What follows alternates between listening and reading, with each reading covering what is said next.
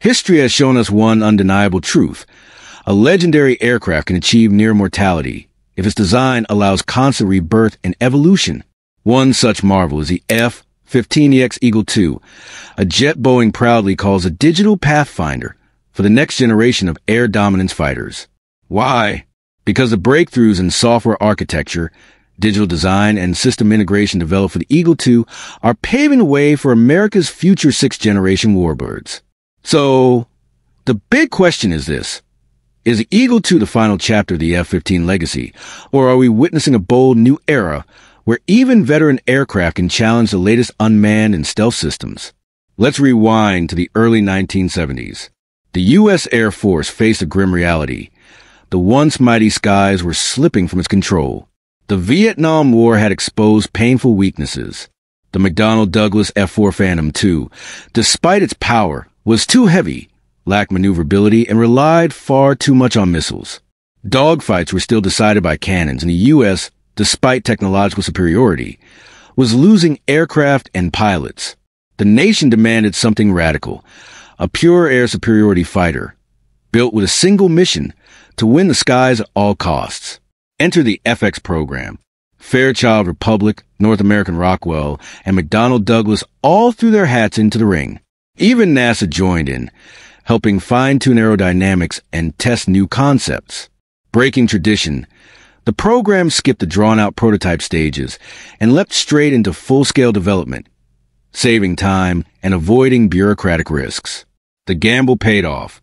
In July 1972, the F-15 Eagle roared into the skies for the first time. By the following year, the two-seat F-15B proved its dominance. Unlike its predecessors, the Eagle was uncompromising, neither a bomber nor a carrier hybrid, but a true sky predator crafted for one purpose air supremacy. Its stats were jaw dropping. A blistering top speed of Mach 2.5, paired with the advanced AN slash APG 63 radar, which could spot low flying enemies over 200 miles away. Even more groundbreaking was its programmable system processor, which allowed regular upgrades without replacing hardware, a concept so successful it's still used today in jets like the F-35 Lightning II. But speed and sensors weren't its only edge. The Eagle had reach. With external tanks, it could fly more than 2,000 miles without refueling and cruise at Mach 0.9 without afterburners. This meant the U.S. could project power anywhere, fast. And in combat, the results were unmatched, by 2008, the F-15 had claimed 104 aerial victories without a single loss, a record no rival could touch. Fast forward to the 2010s. The U.S. Air Force was at a crossroads. Production of the F-22 Raptor had ended in 2011 after only 187 jets. The F-35, though promising, was proving costly, complex, and not yet fully battle ready. Meanwhile, rivals were rising, China rapidly expanding its air fleet, Russia exporting the fearsome Su-35, and global tensions escalating. The Pentagon needed a reliable, heavily armed, and versatile fighter. One that didn't always need stealth, but could deliver raw power, endurance, and affordability. Boeing had the answer. The F-15QA Qatari Advanced, a cutting-edge export variant brimming with next-gen avionics, automated flight controls, improved engines, and, most importantly, an open mission systems architecture that could evolve with future technology. This became the foundation for the F-15EX Eagle II, perhaps the ultimate and maybe the final evolution of this legendary aircraft. The upgrades are nothing short of staggering. Yes, the Eagle II is heavier, but it's also far smarter and more agile. Its digital fly-by-wire system and twin F-110G 129 engines pumping out 29,500 pounds of thrust each make it more maneuverable than any previous F-15. Stability has improved across the board, from takeoff to extreme asymmetric loads. Pilots can now pull off aggressive maneuvers without worrying about angle of attack limits. Engineers also redesigned the wings, boosting service life to 20,000 hours and massively increasing payload. The Eagle II can now haul a jaw-dropping 29,500 pound of weapons, almost double the original, across 23 hardpoints instead of just nine. In other words, the Eagle II isn't just a fighter. It's a flying arsenal, capable of carrying the heaviest punch in U.S. Air Force history. Thanks to its advanced Amber missile and bomb ejector rack system, the F-15EX can now carry an astonishing 22 air-to-air missiles. Let's put that into perspective.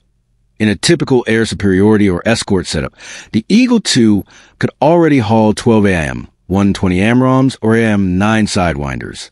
But with extended racks and conformal fuel tank CFT modules, this beast levels up, packing 16 small diameter bombs, GBU-39s, four more AMRAAMs and two AGM-88 HARM anti-radiation missiles.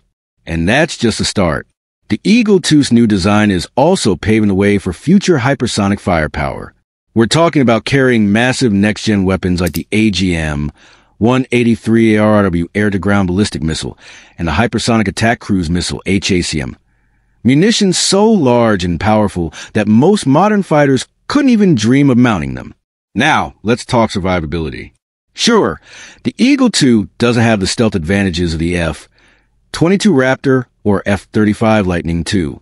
But what it does have is a cutting-edge suite of integrated avionics and defensive countermeasures designed to keep its pilots alive and in control. At its core is the APG-82V-1 radar, which fuses the APG-63V, 3 AESA antenna with the APG-79V 5 processor, backed by a new cooling system and adaptive RF filters. The result? The Eagle II can perform radar and electronic warfare simultaneously when linked with the Enslash ALQ 250 EPAWSS electronic warfare suite. EPAWSS provides full spectrum radar warning, geolocation of threats, and integrates seamlessly with the AN-47 chaff and flare system. Boeing keeps some details classified, but here's the cool part. The system learns in real time, recognizes enemy signals, adapts instantly, and flips them for counter use the first U.S. Air Force pod with this tech, fittingly called the Angry Kitten Jamming Pod. But the Eagle II isn't done showing off. With the Legion pod's IRST sensor, it can passively track even stealthy aircraft by detecting heat signatures instead of radar waves.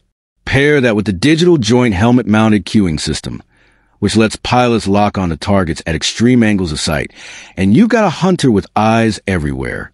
Best of all, its open mission systems architecture ensures it can use both the latest electronics and proven legacy tools, like the LANTIRN and Sniper XR pods, for precision low-level strikes day or night.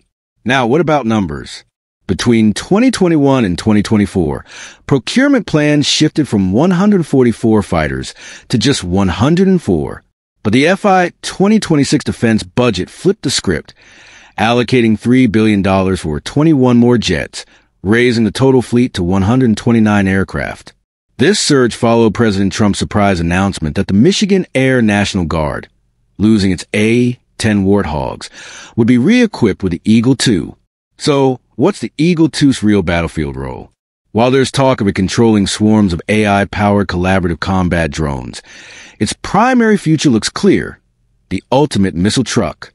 Stealth jets like the F-35 and F 22 may sneak in undetected, gather targeting data, and feed it back to the F-15EX, which then unloads its massive arsenal from a safe distance.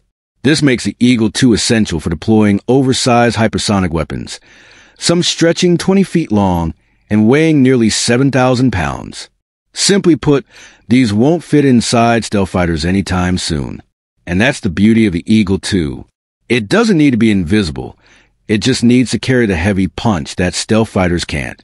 In fact, far from being replaced by drones, the F-15EX is likely to become even more important as the muscle behind tomorrow's aerial battlefield. So here's the big question. Will we one day see an Eagle 3 soar in the 2050s, or will the F-15EX finally hand the skies over to sixth generation NGAD fighters? Let us know what you think in the comments below.